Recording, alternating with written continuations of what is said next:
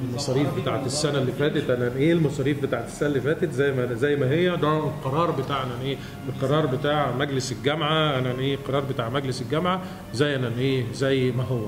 إنما إيه اللي حصل اللي هو الموضوع بتاع ربط الكتب بالمصروفات وبالتالي الطالب لأن كان في طلبة اللي هي بتشتري الكتب وطلبة فالقصة بالنسبة لهم بقت أرخص كتير. يعني يعني الكلية كانت بتقدم دعم للطالب أنا أقول لك بالظبط الطالب كان بيعمل أنا إيه كان بيدفع في الترم 50 جنيه عشان أنا إيه عشان ياخد الخمس كتب يعني كان بيدفع 10 جنيه على الكتاب وبعد كده كان بيدفع 10 جنيه عشان أنا إيه 10 جنيه أخرى عشان أنا إيه عشان التطبيقات.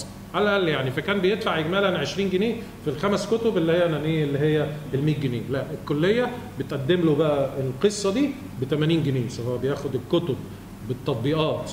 بالدعم الإلكتروني أنا إيه بالحاجات كلها وبيدفع 80 جنيه أنا إيه بيدفع 80 جنيه مقابل الموضوع أنا إيه الموضوع ده.